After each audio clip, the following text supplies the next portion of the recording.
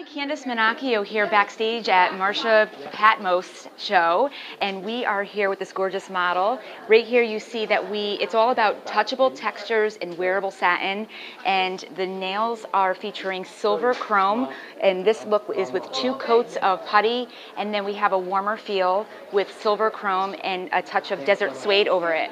So again, it's wearable satins and soft textures, so stay tuned for more.